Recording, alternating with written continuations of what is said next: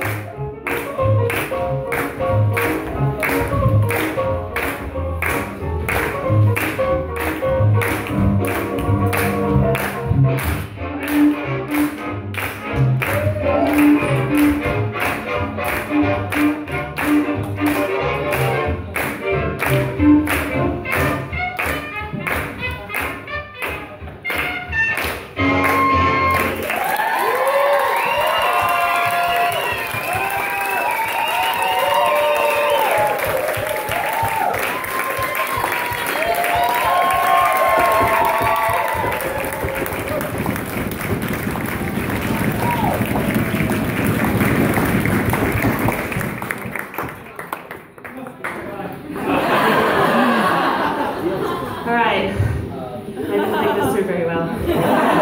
Give me one second. um, so, we just want to take this uh, moment in the night to say thank you to all the people that have helped put this amazing event together.